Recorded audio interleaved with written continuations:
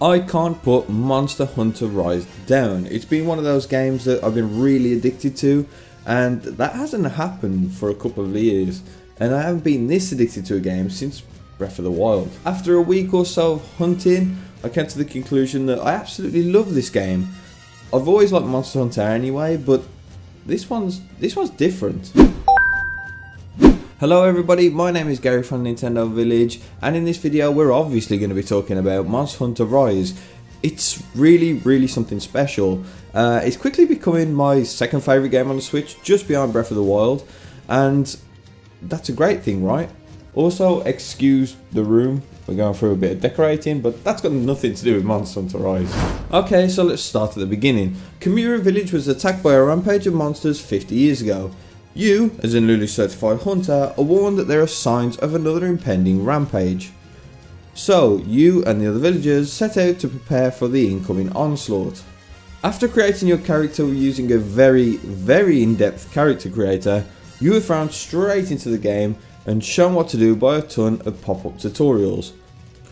Honestly, there are a lot of pop-up tutorials in this game and they are quite daunting at times, but trust me, hang in there it's not as complicated as it makes out. I remember struggling with my first Monster Hunter on the Wii. The difference is this time is there is a lot of people online who can show you the ropes, a lot of people in communities, and generally the game does do a better job of showing you the controls.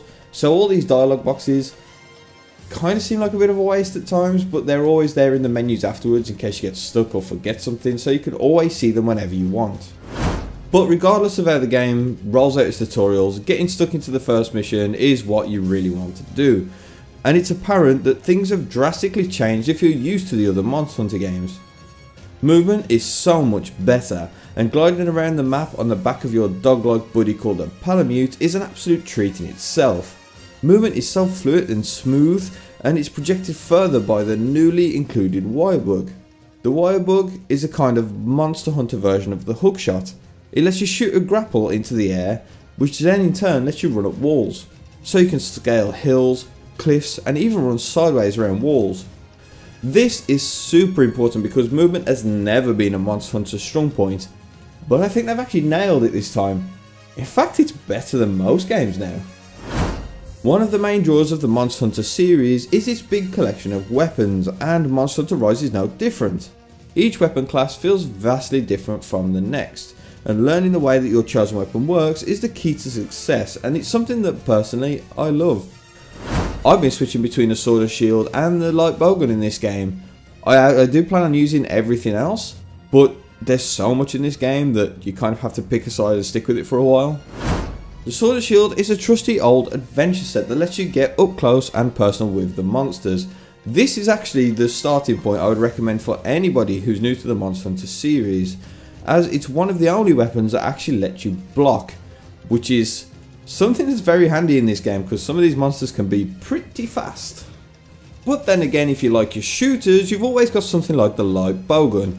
I mean, the light bowgun does vary depending on which one that you choose to own and how you upgrade it, but it basically turns Monster Hunter into a bit of a shooter. And then there's stuff like the bow. Everyone knows what a bow's like. It's a little bit different in this game, but it's a bow. And then you've also got things like the Great Sword, which is this giant, colossal, huge sword which is slow to swing. And then you've got stuff like the Dual Blades, which, as the name suggests, is a pair of blades. And these are basically crazy. They let you tear away at the monsters with rapid speed. The weapon variety in Monster Hunter has always been its strong point, and the game actually gives you a set of every single weapon in your chest at the start of the game so you can try them all out and see which one suits you. Most of the missions in Monster Hunter sees you, well, hunting monsters. Most are like big dinosaur or dragon-like creatures that can take an absolute battering before they go down. The key to success here is learning the monster, learning the way that it attacks, learning its general behaviour, and just making sure that you manage to avoid those attacks when it does them, otherwise you'll be sent flying with a huge dent in your health bar. The monsters in this game are incredible and they feel so much more alive. The way that they travel around the seamless maps and interact and fight with each other is incredible. You can even bump into monsters sleeping or having a snack from time to time too. Honestly, it's like the world of Monster Hunter is actually lived in by these creatures. They do things that are unique to each other, and they just generally have these behaviours which other monsters won't have. If you're a fan of well crafted boss fights, then Monster Hunter is a game that is basically all that. And it always has been. But the incredible design and variety of the monsters at hand here is nothing short of impressive. It's so satisfying when you break off a part of a monster's wing or slash a monster's tail off. And it's rewarding when you see a monster limping away or drooling slowly as it's losing a fight against you and your team. And if the monster is about to do a big attack, you'll hear your hunter shouting, I haven't gripped a controller that tight in ages when you know that that monster is going to unleash a big attack against you and you need to desperately dodge out the way. And once a monster is defeated, it's time to carve it up for materials. You collect these with other stuff that you collected from around the map to make new armour and new weapons. This in turn lets you take on bigger and harder monsters. There's no leveling up system as such. You get ranked on how many monsters you've killed, but the way that you improve in this game is by improving your armor and improving your weaponry. So let's talk about that because collecting all this stuff, there is a lot in Monster Hunter. There is lots and lots of different things that you can pick up. And it's always been a bit of a pain in the past, but things have changed again. Luckily there's been a bunch of quality and life improvements on Monster Hunter Rise. They've taken the sting out of sorting through your inventories. When you collect materials, the games will auto craft certain ones, so that saves you a lot of hassle. Items can be auto sorted, which is also great, and you have the option to refine your search down if you're looking for a certain material. Armors in this game are sorted by type instead of being randomly dumped in a box for you to hunt down and find yourself. And weapons have more of a skill tree like system which makes it easier to find which one you want to upgrade to next. It's these kind of improvements that are the stuff that makes Monster Hunter Rise so great. And while the menus ain't perfect, they're a damn sight better than they have been in previous games. You see, what Monster Hunter Rise has done has taken all those boring things about MMOs and stuff that you don't really want to do, like gathering materials, and sped the whole thing up. So now you're spending less time going through menus and more time actually just facing monsters. So now you don't have to keep spamming the A button every time you find a harvesting spot or a mining point on the map. You press a button once and it collects everything from that pile and some of them even let you do it while just running past. Auto crafting, auto sorting, it's all done for you but the biggest, biggest improvement to Monster Hunter is its online. Playing Monster Hunter Online has always been a treat. Seriously, since the Wii version they've nailed the online, it's always been good and it's always been solid but Monster Hunter Rise has taken, again, some of the most boring parts of online play and improved upon them vastly. Unlike most games, you don't need to sit around for a lobby to fill up before going on a quest. Now you can open a room and go straight into hunting a monster on your own, and then when people come into your lobby, they can then join that quest, meaning that you don't have to wait around, wait for a full team before you can head off. People can also jump in and jump out whenever they want, and the beauty of this is that the monsters scale in difficulty depending on how many people are in that room to fight him in the first place. So if everybody leaves, you're not stuck with a monster that's too overpowering. It gets a little bit easier so you can manage it on your own. So far, it's been the most smooth and fluent online game on the Nintendo Switch so far.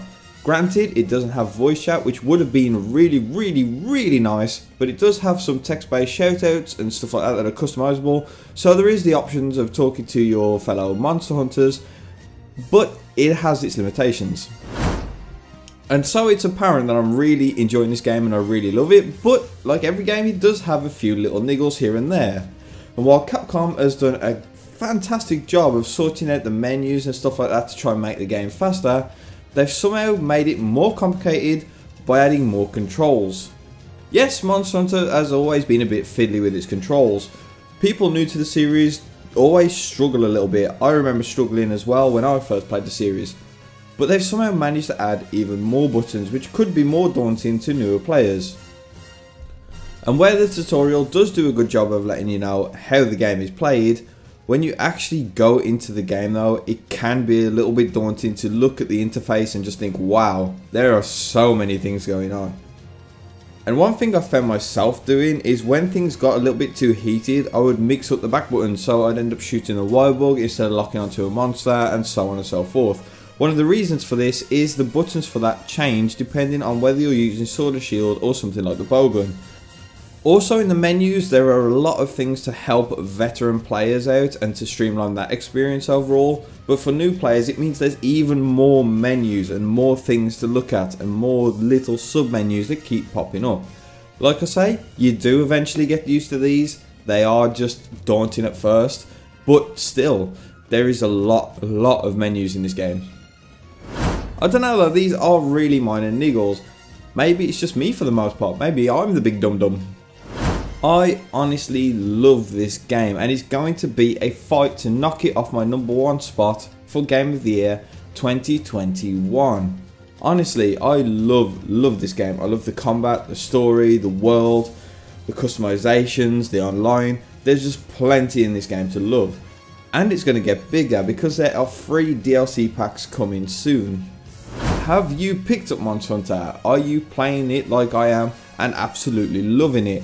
Are you a little overwhelmed by the game and what do you think of it generally? Let me know in the comments down below. So thank you very much for watching the video. Please consider subscribing and head over to the nintendovillage.com if you like all sorts of news, reviews and podcasts and all that good stuff.